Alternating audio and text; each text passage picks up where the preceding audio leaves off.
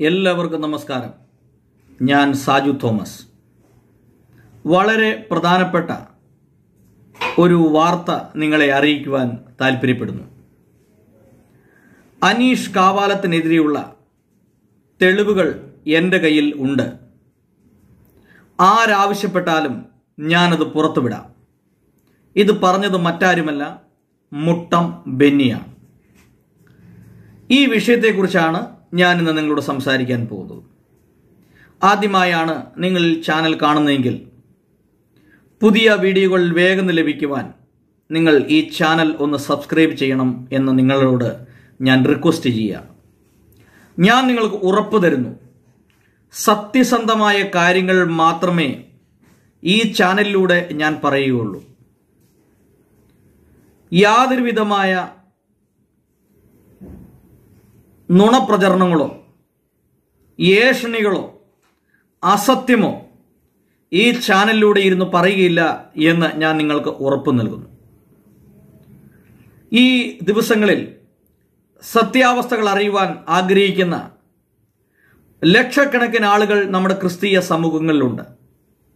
അവരോട് എനിക്ക് പറയാനുള്ളത് നിങ്ങൾ ഞാൻ ഈ പറയുന്ന കാര്യങ്ങൾ വളരെ വ്യക്തമായി കേൾക്കുകയും ശക്തമായ ഈ വിഷയത്തിന് പ്ര- പ്രതികരിക്കുകയും ചെയ്യണം എന്ന് ഓർമ്മപ്പെടുത്തുകയാണ് നിങ്ങൾക്ക് എല്ലാവർക്കും അറിയാം മുട്ടം ബെന്നി ആരാണ്. അദ്ദേഹം പടയാളി എന്ന ഒരു ഫേസ്ബുക്ക് പേജിന്റെ അഡ്മിനാണ്.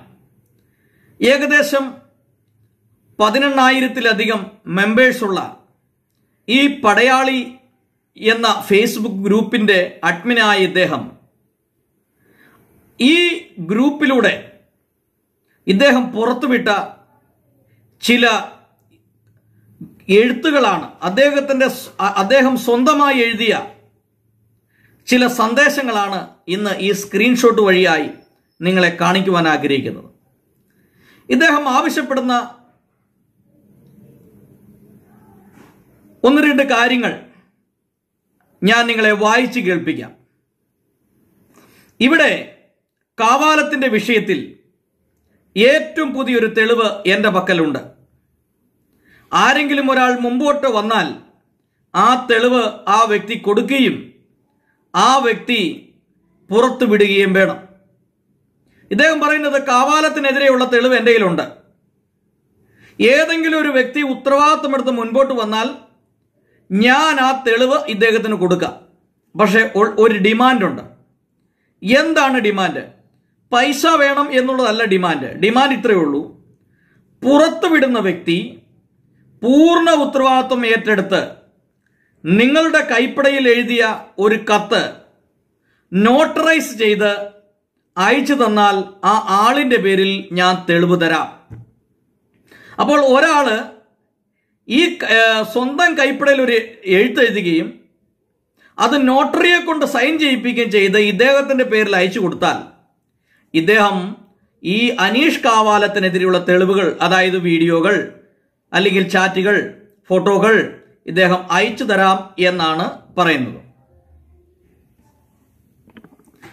ഇദ്ദേഹത്തിന്റെ രണ്ടാമത്തെ ഡിമാൻഡ് താൻ ആത്മഹത്യ ചെയ്യുകയില്ലെന്നും എന്റെ പേരിൽ യാതൊരു പരാതിയും ഉണ്ടാകില്ല എന്നും കാവാലം തന്റെ സ്വന്തം കൈപ്പടയിൽ എഴുതി ഒരു വക്കീലിനെ കൊണ്ട് നോട്ടറൈസ് ചെയ്യിച്ച് ചെയ്ത് ഒരു കത്ത് വാങ്ങിത്തരാൻ കഴിയുമോ?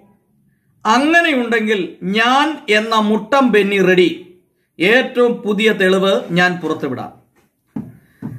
എത്ര നികൃഷ്ടമായ മാനസി മനസ്സിനുടമയാണ് ഈ വ്യക്തി എന്ന് നിങ്ങളൊന്ന് ആലോചിച്ച് നോക്കി ഇദ്ദേഹം പറയാണ് അനീഷ് കാവാലം തന്റെ സ്വന്തം കൈപ്പടയിൽ അനീഷ് കാവാലം തനിക്കെതിരെ കേസ് കൊടുക്കുകയില്ലെന്നും അനീഷ് കാവാലം ആത്മഹത്യ ചെയ്യുകയില്ലെന്നും പറഞ്ഞാൽ എഴുതി തന്നാൽ ഈ വീഡിയോ അല്ലെങ്കിൽ ഈ ഇത് ഞാൻ കൊടുക്കാം. ഇങ്ങനെയുള്ള ഈ ആളുകളെ കുറിച്ച് നിങ്ങൾ എന്താണ് വിചാരിച്ചിരിക്കുന്നത്?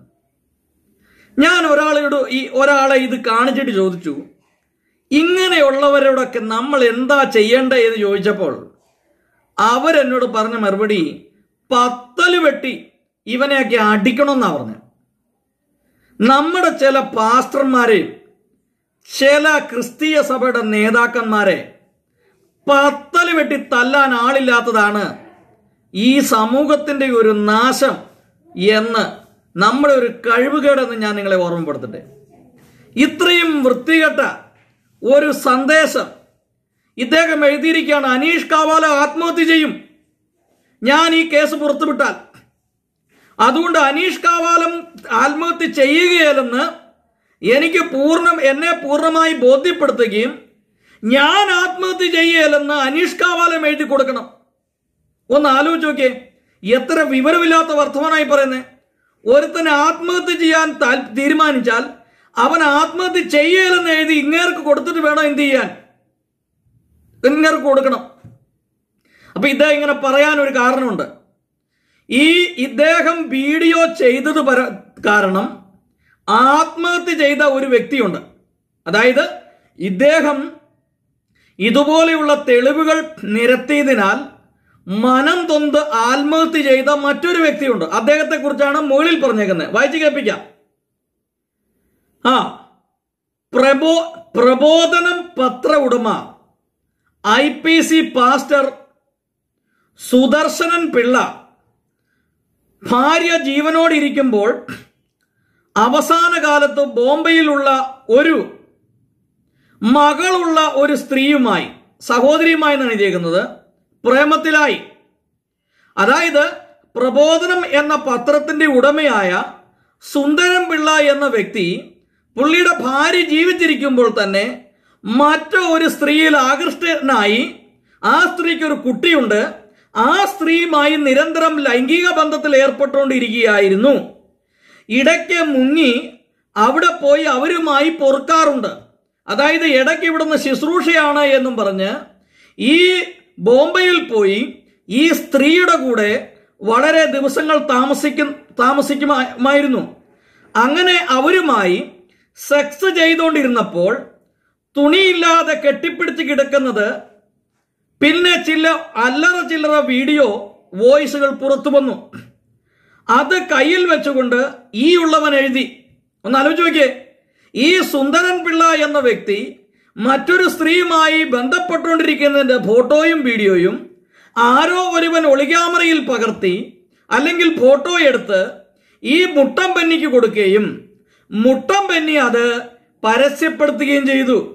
ആ പരസ്യപ്പെടുത്തിയതിന്റെ ഫലമായി മാനവും അഭിമാനവും ഭയന്ന് ഇതുണ്ടോ?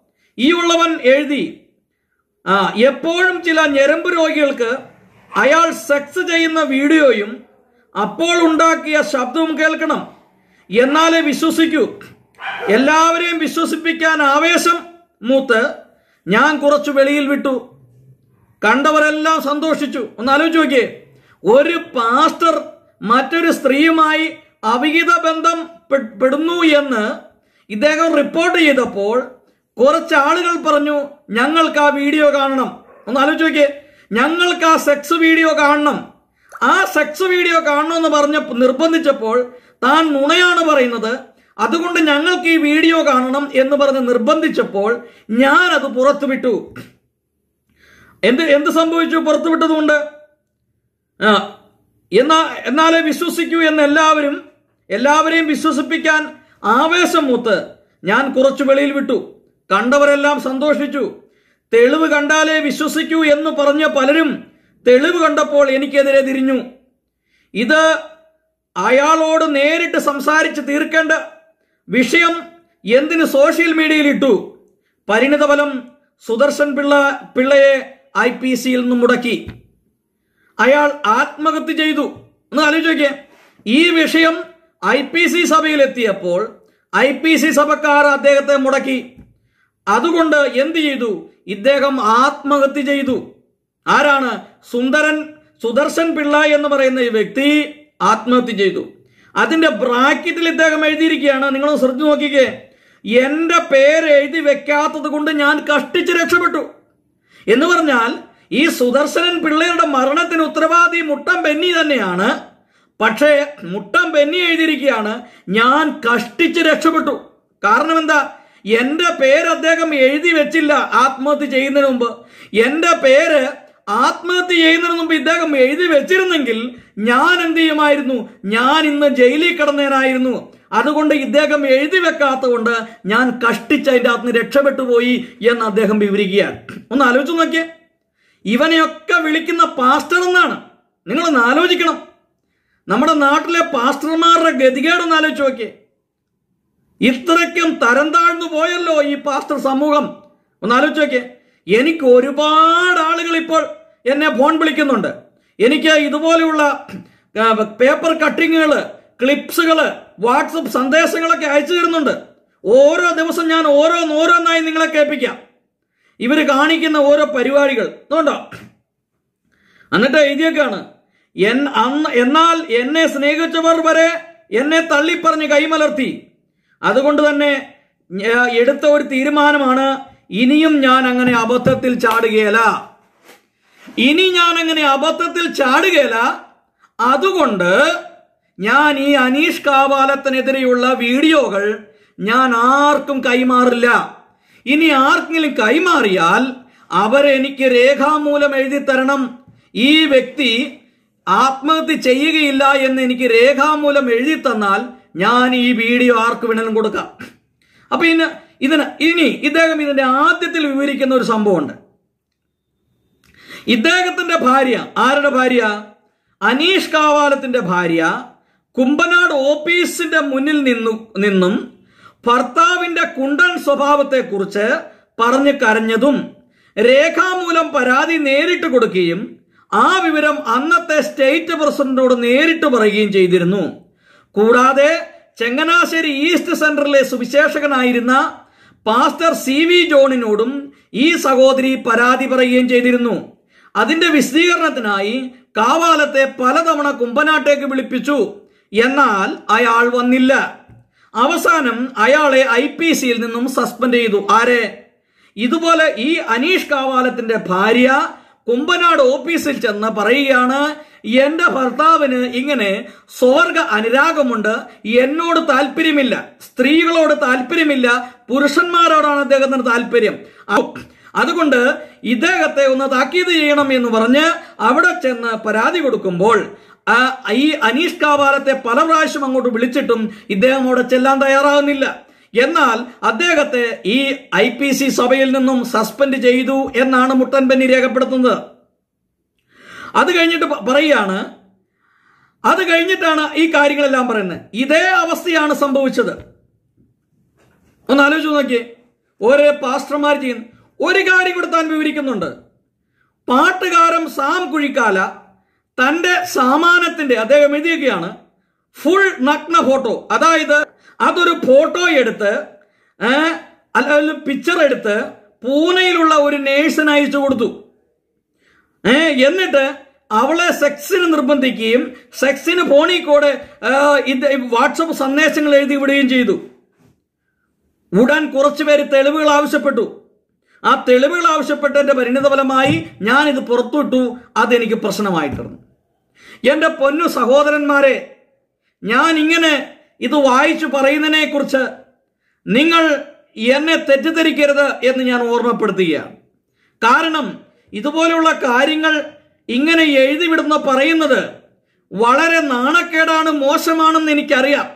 പക്ഷേ ഇവന്മാര് ചെയ്യുന്ന ഈ ടാർഗറ്റിംഗ് ഈ മറ്റുള്ളവനെ ബലിയാടാക്കി വിലപേശി ബ്ലാക്ക്മെയിൽ ചെയ്ത് പണം തട്ടുന്ന ഈ കാര്യം ഇത് തന്നെ ആയിരിക്കാം ഈ സുനിൽ മാത്യുവും രേഖപ്പെടുത്തിയിരിക്കുന്ന എന്റെ കയ്യിൽ വീഡിയോ ഉണ്ട് വീഡിയോ ഇദ്ദേഹത്തിന്റെ കയ്യിലില്ല. വീഡിയോ ഉള്ളത് ആരുടെ കയ്യിലാണ്? മുട്ടം ബെന്നിയുടെ കയ്യിലാണ്. ആ മുട്ടം ബെന്നിയുടെ കയ്യിൽ നിന്ന് ഈ വീഡിയോ ലഭിക്കണമെങ്കിൽ എന്ത് ചെയ്യണം?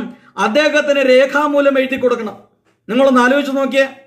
നമ്മൾ വിശ്വസിക്കുന്ന നമ്മൾ സ്നേഹിക്കുന്ന നമ്മൾ ദൈവത്തെ പോലെ കാണുന്ന ദൈവ ദൈവദാസനെന്ന് കാണുന്ന അല്ലെങ്കിൽ നമ്മുടെ ഒരു കുടുംബത്തിലെ അംഗമായിട്ട് കാണുന്ന ഈ സുവിശേഷകന്മാര് ഇതിന്റെ അകത്ത് കിടന്നുകൊണ്ട് കാണിക്കുന്ന ഈ വൃത്തികേടുകൾ. ഒന്ന് ആലോചിച്ച് നോക്കിക്കേ നോക്കിക്കേ. അപ്പൊ ഇതെല്ലാം കേട്ടിട്ട് നിങ്ങൾക്ക് എന്ത് തോന്നുന്നു?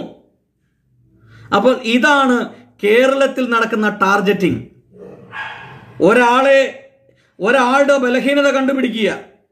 എന്നിട്ട് അവന്റെ വീഡിയോ പിടിക്കുക. നമ്മുടെ കൂട്ടത്തിൽ വന്നിരുന്നിട്ട് ഇതുപോലെ പേന വെച്ച് പേനയുടെ ഇവിടെ ക്യാമറ വെക്കും. അല്ലെങ്കിൽ ബട്ടൺസ് ക്യാമറ വെക്കും.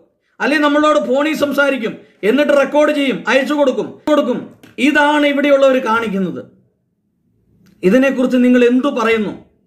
എന്താണ് നിങ്ങളുടെ അഭിപ്രായം? അതുകൊണ്ട് പ്രിയ സഹോദരങ്ങളെ ഞാൻ നിങ്ങളോടൊരു കാര്യം ചോദിക്കുന്നത്. ഇത് നിങ്ങൾ ശ്രദ്ധിച്ചു കേൾക്കണം. തെറ്റ് ചെയ്യാത്തവരായിട്ട് ആരെങ്കിലും ഈ ലോകത്തിലുണ്ടോ? ഒരുവൻ പലതിലും തെറ്റിപ്പോകുന്നു.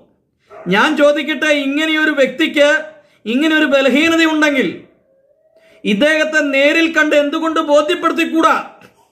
നമ്മൾ അദ്ദേഹത്തെ സ്നേഹിക്കുന്നുണ്ടെങ്കിൽ നമുക്ക് അദ്ദേഹത്തെ വിളിച്ച സഹോദര തന്റെ പേരിൽ ഇങ്ങനെ ഒരു ആരോപണങ്ങളുണ്ട്. ഇത് കണ്ടോ? വീഡിയോ കണ്ടോ?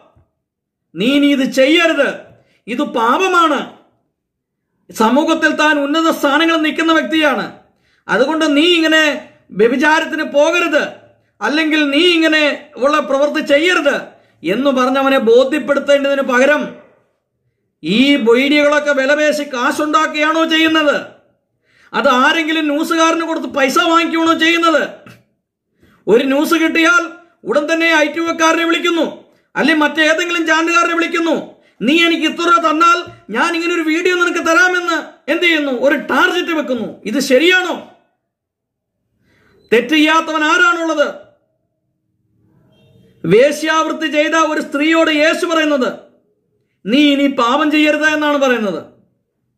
യേശുവിനെ ഒറ്റിക്കൊടുത്ത യേശുവിനെ തള്ളിപ്പറഞ്ഞ ഞാൻ യേശുവിനെ അറിയുന്നില്ലെന്ന് പറഞ്ഞ പത്രോസിനോട് യേശു പറയുന്നത് "നെ- പിന്നെയും അവനെ സ്നേഹിക്കുകയാണ് ചെയ്യുന്നത്. അപ്പോൾ തെറ്റ് ചെയ്യുന്നവരെ ശിക്ഷിക്കാതെ തെറ്റ് ചെയ്യുന്നവർ അനുദപിച്ച് മടങ്ങി വന്നാൽ അവരെ സ്വീകരിക്കുന്ന ഒരു ദൈവത്തെയാണ് നമ്മൾ സേവിക്കുന്നതെന്നും അത് ആ- വചനമാണ് നമ്മൾ കൊണ്ടു നടക്കുന്നു എന്നുള്ള ബോധ്യമുണ്ടെങ്കിൽ ഇതുപോലെ പാസ്റ്റർമാർ ഒരു പാസ്റ്റർ മറ്റൊരുത്തന്റെ വീഡിയോ അല്ലെങ്കിൽ മറ്റൊരുത്തനെ കുറിച്ചുള്ള അശ്ലീല ചിത്രങ്ങൾ പകർത്തിയെടുത്തു വെച്ച് വിലപേശുമോ എന്ന് നിങ്ങളോട് ഒരു ചോദ്യം ചോദിച്ചുകൊണ്ട് അടുത്ത വീഡിയോ ഇതിന്റെ കണ്ടിന്യൂസ് ആയി ഉടൻ തന്നെ വരും എന്ന് ഓർമ്മപ്പെടുത്തിക്കൊണ്ട് ഞാൻ നിർത്തുന്നു.